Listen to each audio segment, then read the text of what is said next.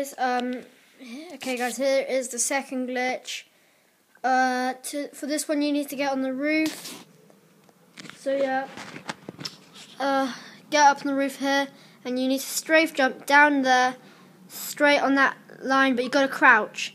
Soon as you land, you crouch. Because there's a death barrier literally right above you. So if you stand up, you're gonna die, and the round will end. Uh, and in that bit just there, I will show you in a minute. So yeah, they can come through those windows there, but they won't. They can't get you at all.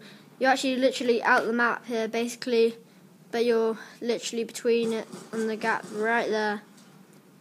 So yeah, it's, it's that line there, guys. As soon as you land on it, you've got to crouch, otherwise you will die. Um, so yeah, because if you don't crouch, then you're pretty much going to be doomed. And here's the second one. In this one, it is a bit dark, but you must keep jumping because there's a death barrier right above your feet, and you will see in a minute or two the round will end because uh, I stopped jumping. But you see, you can go through the wall there, but it won't let you go fully. You see. Um, so yeah, guys, that is about it. You see, I stopped jumping then, and I died.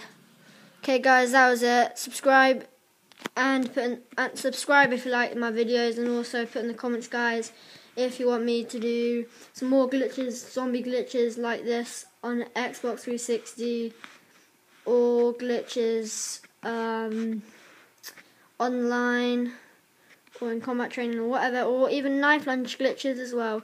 So yeah just put in the comments guys what you want me to do and I'll do that for you guys. That's me. Peace out